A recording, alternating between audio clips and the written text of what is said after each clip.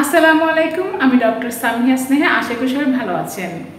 আমি আমার ইউটিউব চ্যানেলে বা আমি আমার সামিয়া স্নেহা পেজে সবসময় ওজন কীভাবে কমানো যায় সেই ভিডিওগুলি আপলোড করে থাকি। তো আমাকে অনেকেই, অনেক ভাইয়া, আপুরা বা আমার অনেক ভিউয়ার্সরা খুব রিকোয়েস্ট করেছেন যে, আপু, ওজন কীভাবে বাড়ানো যায়? একটু বললে উপকার হতো। তো আপনাদের সবার জন্য আমার এই ভিডিওটি যারা আমাকে ইনবক্সে বা কমেন্ট বক্সে রিকোয়েস্ট করেছেন। ওজন বাড়ানো বা ওজন করা কমানো, দুটোই কিন্তু একটা কেন করব? মূলত হচ্ছে ওজন কেন বাড়াবো, ওজন কেন কমা- কমাবো? আমাদের সবারই কিন্তু একটা হেলদি ডায়েট মেনটেন করা উচিত। শুধু ওজন বাড়ালেই হবে না, আবার ওজন কমালেই হবে না।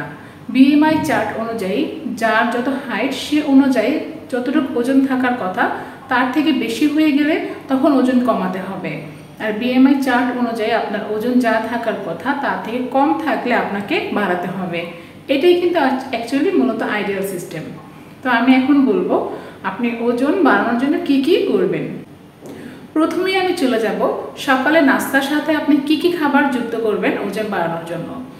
তো আপনি সকাল নাস্তা খাওয়ার পরে আপনি কিছু খাবার আছে, যে খাবারগুলো খেলে আপনি খুব দ্রুত হেলদি উপায়ে বা খুব ভালোভাবে তাড়াতাড়ি মোটা হতে পারবেন। প্রথমত রয়েছে দুধ, কলা, ডিম, খেজুর। আমি চারটি খাবারের নাম বলেছি। আপনি এখান থেকে যে কোনো একটি বা দুটি খাবার সকালে নাস্তার সাথে যুক্ত করতে পারেন। প্রথমত আমি দুধ নিয়ে বলব। দুধে কিন্তু সকল ধরনের পুষ্টি উপাদান রয়েছে যা আমাদের শরীরের জন্য খুব ভালো বা হেলদি উপায়ে শরীর মোটা করতে সাহায্য করে। প্রথমত বলব, রয়েছে protein, vitamin B twelve calcium এই সব কিছু কিন্তু আমাদের শরীরের জন্য খুব উপকারী। এছাড়াও ডিম কিন্তু আমাদের শরীরের জন্য মানে ভালো, এটা কিন্তু সবাই জানেন। সকালে নাস্তার পাশাপাশি কিন্তু আপনি একটা ডিম খেতে পারেন। যারা ডিম পোস্ট খেতে না পারেন, তারা ডিম বয়েল করে খেতে পারেন, কিংবা যারা ডিম বয়েল খেতে না পারেন, তারা কিন্তু ডিম পোস্ট করে বা ডিম ডিম ভাজি করে যেভাবে আপনি খেতে ভালোবাসেন, সেভাবে খেতে পারেন। এছাড়াও অনেকে আছে যে আমি দুধ খেতে পারি না, আমার দুধ খেলে প্রবলেম হয় মানে ল্যাকটোজ ইনটলারেন্স তারা কিন্তু ডিম, কলা, খেজুর এই খাবারগুলো খেতে পারেন। আমি কিন্তু সব ধরনের অপশন বলে দিচ্ছি।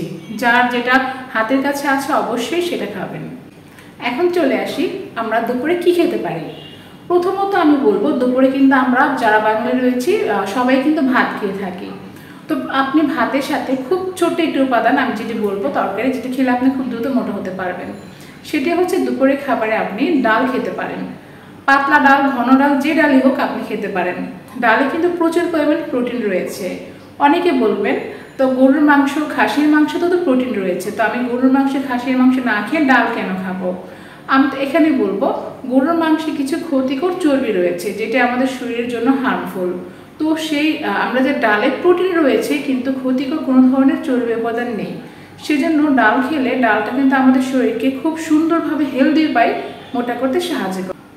ডাল আমাদের শরীরের আরেকটি গুরুত্বপূর্ণ ভূমিকা পালন করে, যেটি না বললেই নয়। আমাদের নারী ভুঁড়িতে কিছু উপকারী জীবাণু রয়েছে, যেটি আমাদের শরীরের জন্য ভালো। তো ডাল আমাদের এই উপকারী জীবাণুগুলোর খাদ্য হিসেবে কাজ করে। এই জীবাণুগুলো যদি আমাদের শরীরে না থাকে, তাহলে কিন্তু আমরা অসুস্থ হয়ে যাব। উপকারী জীবাণুগুলোর খাদ্য হিসেবেও ডাল কাজ করে। তো ডাল কিন্তু অনেক ধরনেরই গুরুত্বপূর্ণ ভূমিকা রয়েছে। তো ডাল কিন্তু আমাদের লাঞ্চের সাথে অবশ্যই প্রতিদিন আমরা এক বাটি ডাল খেতে পারি ওজন বাড়ানোর জন্য। এখন অনেকেই প্রশ্ন করতে পারেন দুপুরে কি শুধু আমি ডাল দিয়ে ভাত খাব? আর কোনো কিছু খেতে পারব না? না, আপনি সব কিছুই খেতে পারবেন। আপনি গরুর মাংস, খাসির মাংস, মুরগির মাংস সব কিছুই খেতে পারবেন। কিন্তু সব কিছু একটু পরিমাণ রয়েছে, সে অনুযায়ী খাবেন। আপনি যদি অনেক বেশি খেতে থাকেন, তখন কিন্তু আপনি ওভার ওয়েট হয়ে যাবেন। তো যে কোনো খাবারই আপনি ওজন বাড়ানোর জন্যই খান না কেন, আপনাকে অবশ্যই পরিমিত মেপে মেপে খেতে হবে। তো আপনার দুপুরের লাঞ্চে অবশ্যই ডাল রাখবেন, সবজি রাখবেন, সালাদ রাখবেন যে কোনো ধরনের মাছ, মাংস সবই খেতে পারেন। তো এখন আমি বলব, আপনি বিকালে কি খাবেন? কিছু কিছু স্ন্যাক্স বা নাস্তা রয়েছে যে খাবারগুলো খেলে ওজন দ্রুত বৃদ্ধি পায়। তার মধ্যে রয়েছে কাস্টার্ড পুডিং কাস্টার্ড কিন্তু আপনি বানানোর সময় বা আপনাকে যে বানিয়ে দেবে, তাকে অবশ্যই বলতে হবে সব ধরনের ফ্রুটস ফল দিয়ে কাস্টার্ডটা বানিয়ে দিতে। পুডিং কিন্তু এখন আমরা সবাই বানাতে পারি।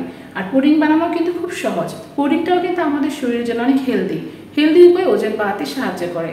এছাড়াও আপনি বাদাম খেতে পারেন। বাদাম কিন্তু আমাদের শরীরের জন্য অনেক ভালো। তো আপনি প্রতিদিন পরিমাণ অনুযায়ী বাদাম খেতে পারেন কিশমিশ খেতে পারেন।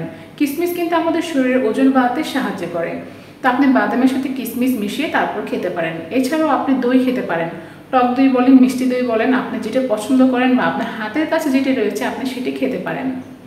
রাতের খাবার অবশ্যই আর্লি খেয়ে ফেলা ভালো। ওজন কমানোর জন্য যেমন আর্লি খেতে হয়, ওজন বাড়ানোর জন্য কিন্তু আপনি লেট করে খাবেন এমন কিছু না। আপনি যদি রাতের খাবারটা খেয়ে তাড়াতাড়ি শুয়ে পড়েন, তখন কিন্তু অ্যাসিডিটির সমস্যা দেখা দিতে পারে। সেজন্য আপনি অবশ্যই এক থেকে দুই ঘণ্টা, আপনি ঘুমানোর এক থেকে দুই ঘণ্টা আগে অবশ্যই আপনি ডিনারটা শেষ করবেন। তো ডিনারও আপনি ভাত খেতে পারেন, তার সাথে আপনি সবজি বা আপনি বিফ বা আপনার বাসায় যেটা আছে সেটাই খেতে পারেন। এক্সট্রা এমন কোনো খাবার না যেটা আপনি মানে এক্সপেন্সিভ বা আপনার হাতের কাছে নয়। এই যে আমি ব্রেকফাস্ট লাঞ্চ ডিনারের কথা বললাম, এই খাবারগুলো খেলেই আপনি ওজন বাড়াতে পারবেন। অনেকে বলে যে আমার রুচি হয় না, আমি খেতে পারি না। তাদের জন্য বলব আপনারা দিনে কিছু ওয়ার্কআউট করবেন। Thirty minute forty minute walking বা এক্সারসাইজ করবেন। এক্সারসাইজ করলে কিন্তু ক্ষুধা বাড়ে। তখন কিন্তু আপনি খেতে পারবেন আর এতে করে কিন্তু আপনি হেলদি উপায় ওজন বাড়তে পারবেন। অনেকেই রয়েছে যে আপনারা অনেক শুকনা বা আপনার আন্ডার ওয়েট ওজন বাড়ছে না। তাদের জন্য বলব, যারা কোনো ধরনের ডিজিজ কন্ডিশন থাকতে পারে, যে ক্ষেত্রে ওজন দ্রুত কমে যায়, তাদের জন্য বলব এরকম ধরনের সমস্যা যদি আপনি ফিল করেন যে আপনার শরীরে ওজন কমে যাওয়ার সাথে আরও কিছু লক্ষণ দেখা দিয়েছে, তেমন থাইরয়েড হলে ওজন কমে যায়। আপনি যতই খান না কেন, ওজন কিন্তু কমতে থাকে। এছাড়াও আরও অনেক ডিজিজ রয়েছে, এগুলো নিয়ে আমি এখন আলোচনা করছি না। এরকম কোনো লক্ষণ দেখা দিলে আপনি অবশ্যই ডক্টরের পরামর্শ আগে নেবেন, তারপর ওজন বাড়ানোর চেষ্টা করবেন। আপনি যদি কোনো ধরনের ডিজিসে আক্রান্ত না হয়ে থাকেন, আমি যে আপনার খাদ্য তালিকাটি দিয়েছি, এই খাদ্য তালিকাটি ফলো করলে অবশ্যই আপনি ওজন বাড়াতে পারবেন খুব সহজেই। আপনাকে অবশ্যই ধৈর্য নিয়ে এই এই তালিকাটি ফলো করতে হবে। আর আমার ভিডিওটি ভালো লাগলে অবশ্যই আমার চ্যানেলটি সাবস্ক্রাইব করবেন। আর আমার যদি আপনি ফেসবুক পেজ থেকে ভিডিওটি দেখে থাকেন, অবশ্যই আমার ফেসবুক পেজটি লাইক করে দেবেন। আর কোনো ধরনের প্রশ্ন থাকলে আমার কমেন্ট বক্সে কমেন্ট করতে পারেন, কিংবা আমার সাথে সরাসরি যোগাযোগ করতে আমার ফেসবুকে ইনবক্সে নক করতে পারেন। আজকে এখানেই বিদায় নিচ্ছি। সবাই ভালো থাকবেন। আল্লাহ হাফেজ।